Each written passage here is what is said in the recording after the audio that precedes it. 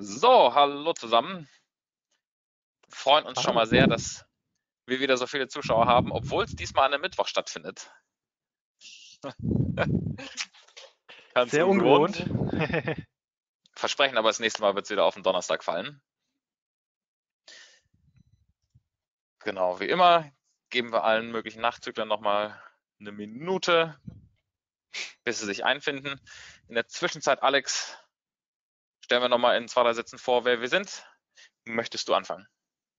Sehr gerne. Äh, ja, mein Name ist äh, Alexander Geibig. Ich bin äh, Gründer und Geschäftsführer von AlphaFinity. Ähm, wir sind darauf spezialisiert, ähm, Daten aus verschiedensten öffentlichen, ähm, aber auch nicht öffentlichen Quellen ähm, zusammenzutragen, aufzubereiten ähm, und diese dann ja, äh, konsolidiert zur Verfügung zu stellen, sodass dann äh, ja, andere Unternehmen ähm, aus diesen Daten Analysen erstellen können, diese Daten in Anwendungen verbauen können, ähm, allgemein eben KI und Analytics-Anwendungen äh, ja, damit speisen können.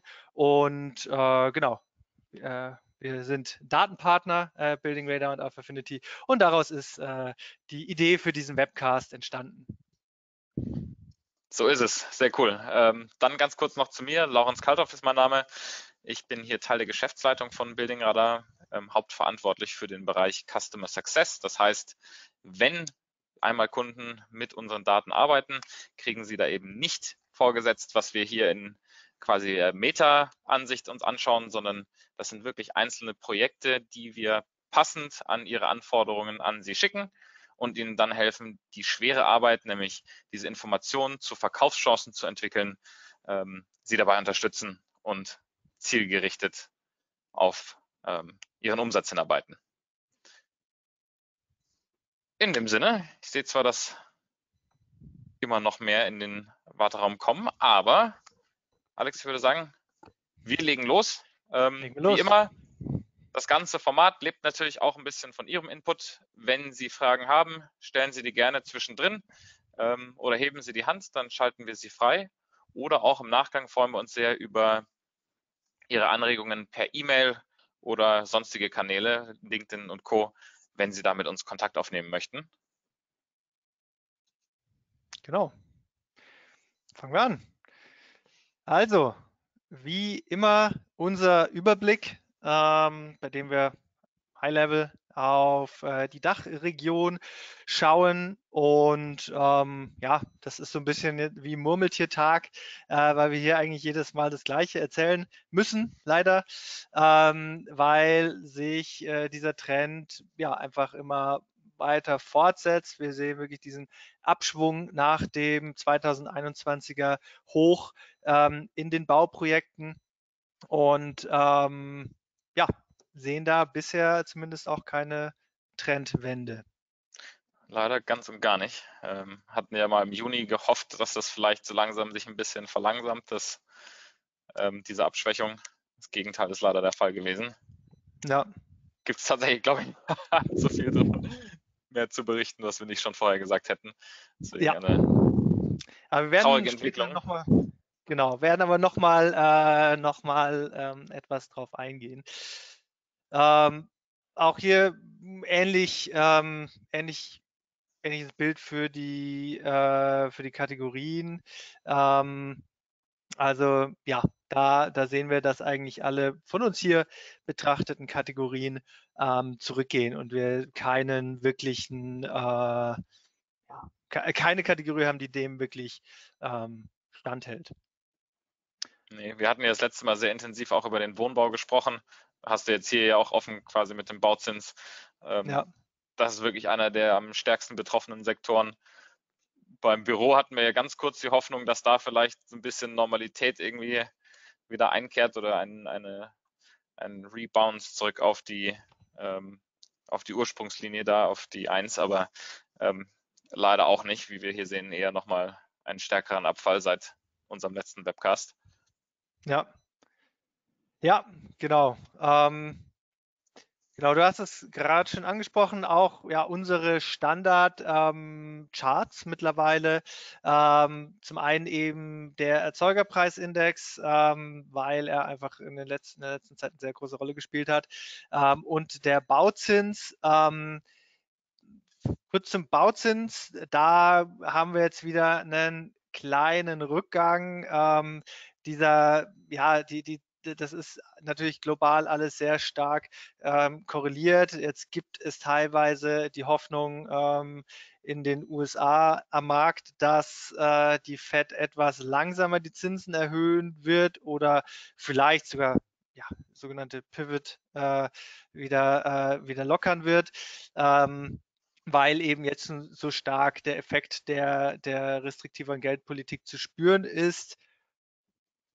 Ja, schauen wir mal, äh, auch wie sich natürlich die Inflation entwickelt. Ähm, wir sehen einen kleinen Rückgang hier beim Erzeugerpreisindex, wo der herkommt. Ähm, schauen wir uns gleich noch an. Lass uns schnell weitergehen. Ich glaube, da kommen die großen Insights auf den, auf den nächsten Folien. Äh, genau, und zwar die, die Preisentwicklung im Detail. Ähm, wenn Sie vor einem Jahr bei unserem ersten gemeinsamen ähm, Webcast schon dabei waren, dann da haben wir genau das auch äh, uns angeschaut. Ähm, die, die Preisentwicklung aufgeschlüsselt nach den damals, äh, nach den Kategorien mit den größten Preissteigerungen. Ich habe jetzt hier einfach nochmal äh, die gleichen Kategorien übernommen. Ähm, die, das sind die bunten Linien und habe das Ganze auch mal, ja, habe da die, die, die Projektentwicklung äh, für Deutschland ähm, drüber gelegt, die wir gleich als allererstes gezeigt haben. Ähm, dazu gleich mehr. Vielleicht als erstes, was natürlich sehr, sehr deutlich ist, Energie, also die blaue Linie äh, oder die hellblaue Linie Erdöl und Erdgas.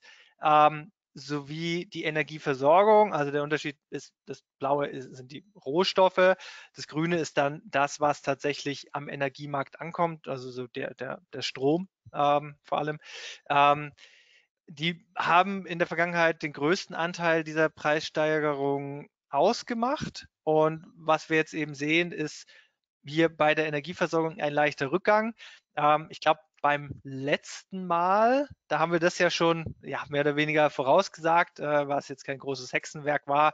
Wir haben uns einfach den Strompreis an der Börse angeschaut und haben da schon gesehen, es hatte sich wieder normalisiert. Deswegen war jetzt dieser, dieser Rückgang zu erwarten. Ähm, und bei ähm, deswegen jetzt auch so der leichte Rückgang des, des Gesamtindikators und auch für die anderen Güter hier hat sich, sagen wir, so eine, so eine Plateaubildung eingestellt. Das heißt, wir haben jetzt in den letzten zwei, drei, oh, gut, letzten Monat können wir noch nicht sagen, aber ähm, die, also August, Juli, August, September, keine größeren Preissteigerungen mehr gesehen. Genau, Plateau ist, glaube ich, das Stichwort. Du hattest es ja gerade schon angesprochen. Die große Befürchtung oder Sorge, die wir hier halt haben, ist, dass das wahrscheinlich nicht wieder auf Vorkrisenniveau zurückfallen wird, sondern halt dann auf weiterhin hohem Niveau stagniert. Ähm, hängt natürlich auch so ein bisschen von Zinspolitik und ähm, unseren Notenbanken ab, aber ja. eben nicht nur. Also wir haben ja gleichzeitig auch noch ähm, den Krieg in der Ukraine, der natürlich auch eine Menge Rohstoffe ähm, blockiert, genauso wie die Situation in China, auf die wir, glaube ich, später nochmal sehr viel mehr zu sprechen kommen, die da einfach leider nach wie vor wieder ein bisschen mehr Druck auf die Lieferketten bringen. Ja, genau, genau. Und es ist ja auch so, ähm, das ist allgemein, äh, ähm, ähm, genau, schauen wir da nochmal. Es ist ja allgemein so, dass Inflation ähm, generell in Wellen kommt. Ähm, das heißt, weil es ja verschiedene Effekte sind. Ähm, manche Effekte finden stärker statt, wie jetzt zum Beispiel dieser Schock äh, durch die Energiepreise, ähm, aber auch durch die sehr starke Nachfrage, äh, die Steigerung und die, die Lieferkettenprobleme. Und ja, das setzt natürlich etwas in Gang und die Unternehmen wissen jetzt, okay, wir haben jetzt höhere Preise bekommen, wir konnten vielleicht, zahlen höhere Preise, wir konnten vielleicht nicht alles schon durchsetzen an, an oder, oder, ja, weitergeben an Preissteigerungen. Das heißt, jetzt wird trotzdem versucht, weil es natürlich alles auf die Margen ging, wird wahrscheinlich trotzdem versucht, okay, wo können wir noch was rausholen? Und dann haben wieder die, die, ähm, die Bürger, die Verbraucher weniger Geld in der Tasche, wollen wieder höhere Lohnabschlüsse. ja, das heißt, da ist, ist glaube ich, erstmal eine Pause, aber schauen wir mal, wie es weitergeht. Und interessant ist ja auch, wenn wir das Ganze, das haben wir damals ja schon gemacht, wenn wir das vergleichen mit der Projektentwicklung, und da sieht man ja sehr deutlich eben diese Korrelation. Ähm, Korrelation, Kausalität ist natürlich immer schwierig, das hatten wir in der Vergangenheit die auch schon, aber es ist ja schon sehr, sehr deutlich und wir sehen es ja auch empirisch, äh, dass einfach diese Preissteigerungen zu sehr großen Problemen geführt haben. Ähm, und ja. Gut, ich glaube, die Kausalität hier ist sogar einigermaßen klar erkennbar. Ähm, das ja. Bauaufkommen wäre wahrscheinlich deutlich höher, hätten wir diese ganzen Probleme nicht. Insofern ähm, ist genau. das klar. Wäre ja. es nicht so, äh, eigentlich so eine traurige Situation, würde ich mich darüber freuen, wie schön diese Korrelation hier auf der Abbildung aussieht. Aber ich glaube, das äh, überspringen wir mal gerade an der Stelle. Das stimmt. Ähm, so, jetzt gehen wir mal weiter. Ich habe gerade so ein bisschen Leistungsabfall am Computer. Das heißt, wenn es etwas ruckelt, bitte sehen Sie es mir nach. Genau. Weiteres ja. sehr spannendes Thema, Auftragseingang. Ähm, haben wir ja jetzt bewusst erstmal nicht angeschaut, einfach weil die Daten ähm, mit Verzug rauskommen. Ähm, wir hatten ja im äh, im März, ähm, also jetzt sehen wir erstmal hier natürlich den deutlichen Rückgang. Wir hatten hier sehr starke Schwankungen. Ähm, wir haben natürlich so dieses, äh, dieses Tief, was üblich ist am, am Jahresanfang. Ähm, wir hatten äh, aber auch dieses ja, die, diesen sehr großen, äh, diese sehr große Spitze. Und wenn Sie sich erinnern, wir haben es, glaube ich, damals auch im, im Webcast gesagt, das war so dieser, dieser Vorgriffs- Effekt, den wir gesehen haben, weil klar war, die Zinsen werden sich erhöhen. Äh, viele Leute haben noch schnell einen Kredit aufgenommen, ähm, vielleicht auch angesichts der Preissteuerung gesagt, okay, gut, wir müssen uns beeilen. Ähm, und und dann, dann wurde da eben vorgegriffen und jetzt sehen wir, das ist jetzt da wurde natürlich auch was von, vom späteren Zeitpunkt weggenommen. Ähm, aber wir sehen jetzt schon deutlichen, deutlichen Rückgang. Und ähm, wir haben zwar noch äh, eine gute Lage, aber ja, das.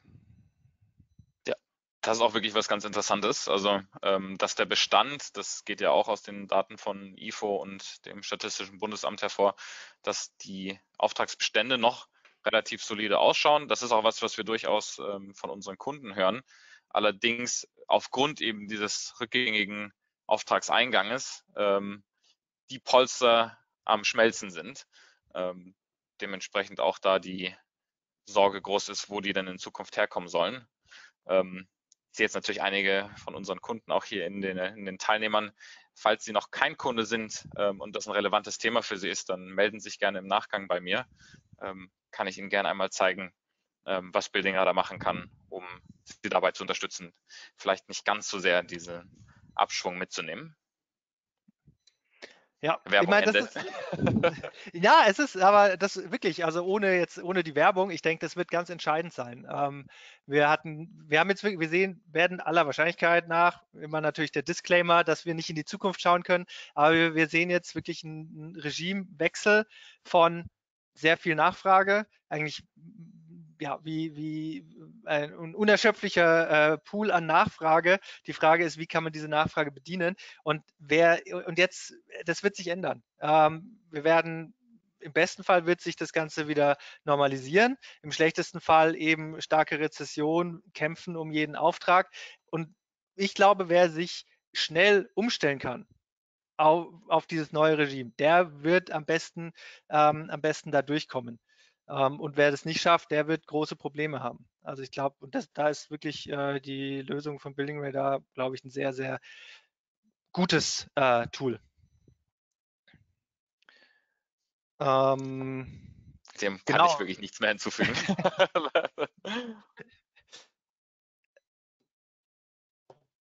genau.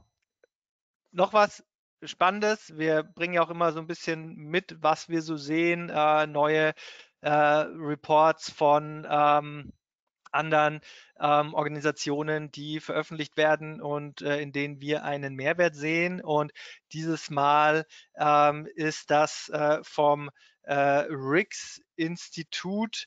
Ähm, und die machen eine Erhebung ähm, regelmäßig zur Stimmung äh, auf den globalen ähm, Immobilienmärkten. Und ähm, was Sie hier sehen, sind die äh, Werte für, ähm, für Europa. Ähm, und was wir da deutlich sehen, ähm, ist eben eine, eine Eintrübung ähm, der Stimmung und das ist natürlich sehr wichtig. Die, die wesentlichen Nachfrager natürlich der, der Baubranche ähm, sind ähm, ja, Investoren, sind äh, Organisationen äh, und natürlich auch Privatleute, die Immobilien ähm, bauen möchten, kaufen möchten, indirekt. Ähm, und deswegen ist es natürlich ganz entscheidend. Und die nennen auch äh, vor allem eben die Inflation und die steigenden Zinsen als die wesentlichen Treiber ähm, des Ganzen äh, oder dieser, dieser negativen Stimmung und äh, sehen vor allem bei den ja, hoch bewerteten Märkten ähm, ja, erwarten die eine deutliche Konsolidierung.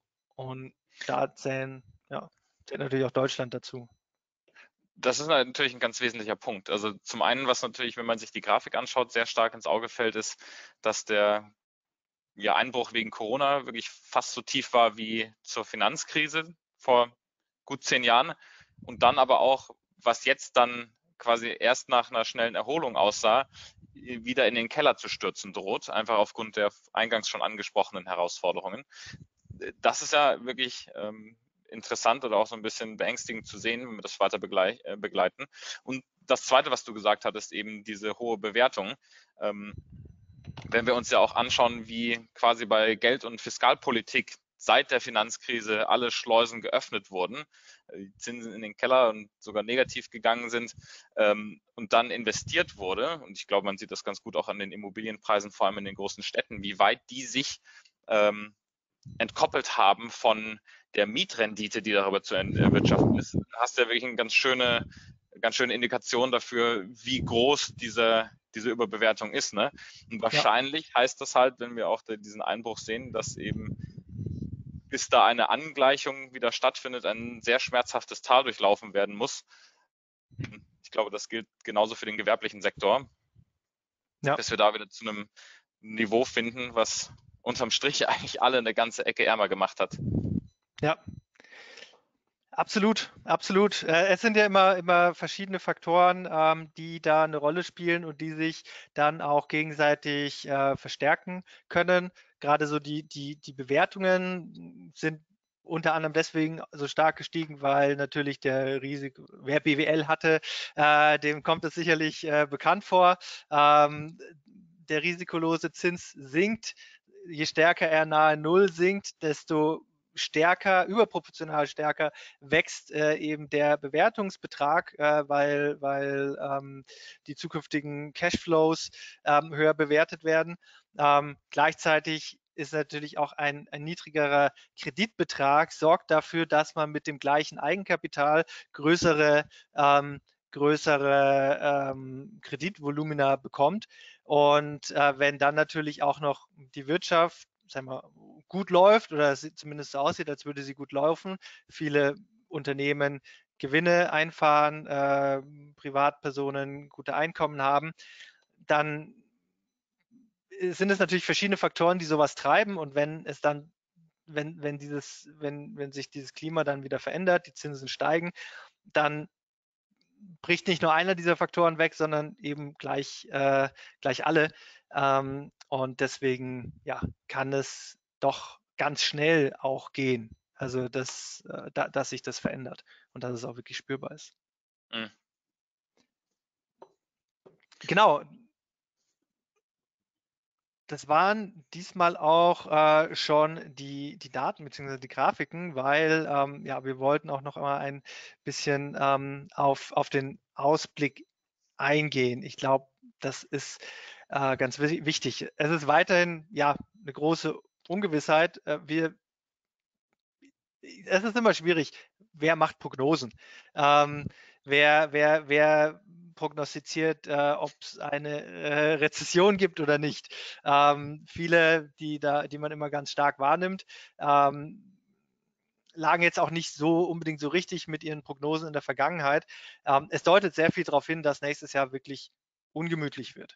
Ähm, natürlich alles wieder davon abhängig, wie, wie die Notenbanken sich verhalten, aber eigentlich haben die keine große Wahl. Vielleicht können sie es ein bisschen abmildern, aber wenn, wenn dieser Kurs jetzt revidiert wird, dieser immer noch relativ leichten Zinserhöhungen, dann kriegen wir wirklich ein richtig großes Problem mit der Inflation.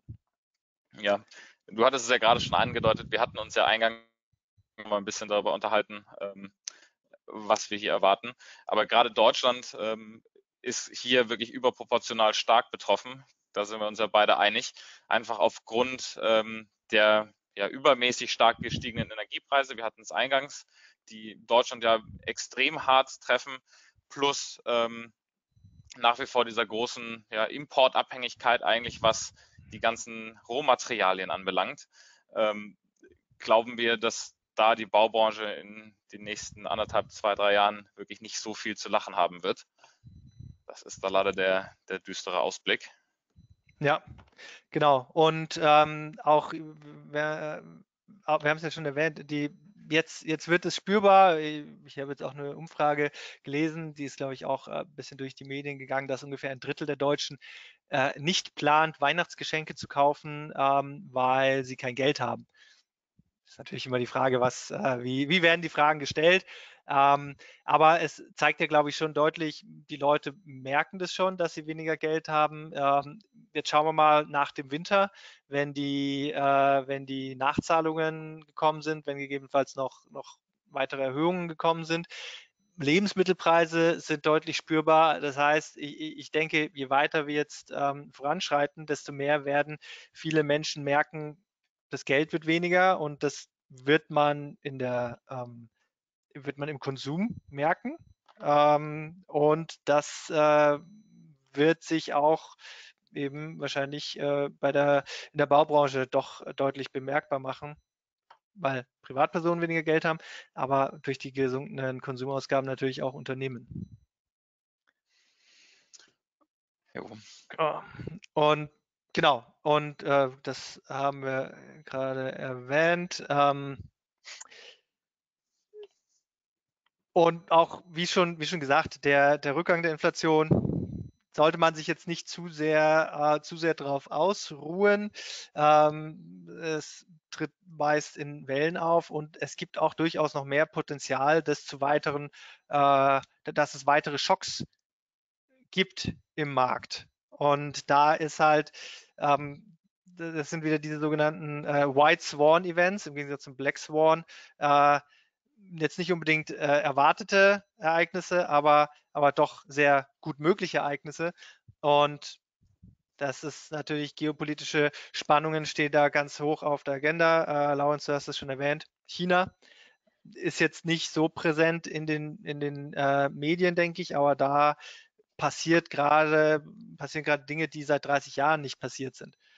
Und äh, auch wenn es jetzt nicht, auch wenn nicht davon, zu, davon auszugehen ist, dass diese Proteste äh, jetzt dieses, dieses Land äh, da, wirklich in der Revolution münden, weil der chinesische Apparat ist natürlich sehr stark äh, auf, auf die Unterdrückung ausgerichtet, insbesondere jetzt seit Corona. Aber ähm, auch, ein, auch ein Niederschlagen, das ist ja nicht mehr, nicht mehr das China von vor von vor 50 Jahren aus Maos Zeiten, wo nur Leute auf dem Feld arbeiten mussten, ganz vereinfacht gesagt. Es ist ein Hightech-Produktionsstandort. Das sind Leute, die sind gut ausgebildet. Die lassen jetzt auch nicht alles mit sich machen.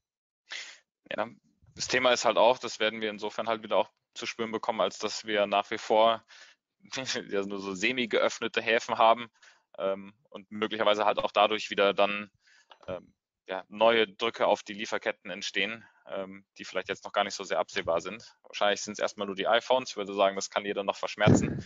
Wenn es dann auf einmal um ähm, wichtigere Vorprodukte geht, ähm, sieht das Thema ein bisschen anders aus.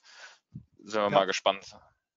Ja, und auch hier wieder eigentlich wichtiger Exportmarkt und auch ein Exportmarkt, der schwächelt. Mhm. Das heißt, es geht, das ist eine doppelte Belastung. Sowohl es fehlen den Unternehmen sowohl die Güter, das merken Sie wahrscheinlich alle, aber auch den, den Produktionsunternehmen in Deutschland, die zum Beispiel nach China exportieren, die vielleicht weniger absetzen. Ähm, die, das ist natürlich dann auch wieder spürbar. Und wenn, wenn die, äh, wenn da die Einnahmen zurückgehen, dann wird man sich eben überlegen, wo investiere ich mein Geld. Das wird dann halt vielleicht nicht, dann wird dann halt der Neubau der Firmenzentrale ähm, verschoben. Das ist das Problem, das da nicht außer Acht gelassen werden darf. Genau. Abschließend, ja, äh, es sieht wirklich so aus, als würden die großen Probleme erst noch kommen. Global gesehen ähm, schauen wir, wie sich wie sich's weiterentwickelt. Ähm, deswegen, ich denke, es ist wichtig, vorsichtig zu sein, Risiken mit Bedacht einzugehen, vielleicht doch lieber ein, ein größeres Polster an liquiden Mitteln äh, äh, äh, vorhalten, äh, als, als jetzt äh, zu versuchen, jede potenzielle Investitionsmöglichkeit auszuschöpfen, so wie es vielleicht noch die letzten Jahre war. Wie gesagt, Regimewechsel. Ich glaube, ja, Risk-off, wie man so schön sagt am, am Kapitalmarkt. Das war's. Sehr gut. Sehr gut. Ich hoffe, dass wir da wieder ein bisschen ja, Licht in die Finsternis ist, glaube ich, die falsche Analogie, ein bisschen Erhellung bringen konnten, ähm, was diese Daten anbelangt. Wie gesagt, ähm, wir haben ja noch ein paar Minuten. Nutzen Sie die Zeit gerne für Fragen oder Wortmeldungen. Ähm, dann schalte ich Sie hier sehr gerne frei. Alternativ natürlich auch immer Ihr Feedback. Ähm, möchten natürlich auch gerne besser werden, was auch immer wir für Sie noch tun können oder herausfinden können. Schreiben Sie uns das gerne oder wie gesagt per Wortmeldung auch, ähm, dann werden wir das nochmal genauer unter die Lupe nehmen. Einen Webcast haben wir noch geplant für dieses Jahr. Das wird irgendwann unsere Weihnachtsedition werden. Ähm, spätestens da freuen wir uns wieder, Sie bei uns zu begrüßen. Ich gucke gerade mal, ob wir Fragen haben. Noch keine. Ähm, darum wie gesagt, wenn es noch irgendwelche Themen gibt, die Sie entweder in Retrospektive oder auch im Ausblick aufs kommende Jahr nochmal besonders interessieren, ähm, sagen Sie uns das gerne. Ansonsten werden wir uns nochmal überlegen, was wir da für vorbereiten können, um das entsprechend das letzte Jahr auszuläuten und das nächste nochmal ein bisschen genauer zu betrachten. Ich glaube, so ein kleiner Breakdown nach einzelnen Industrien könnte hier nochmal ganz spannend sein. Gut, aber in dem Sinne, herzlichen Dank fürs Zuschauen. Ähm, wir freuen uns auf in einem Monat. Und bis dahin, halten Sie die Ohren steif, bleiben Sie optimistisch. Bis bald. Herzlichen Dank. Bis dahin.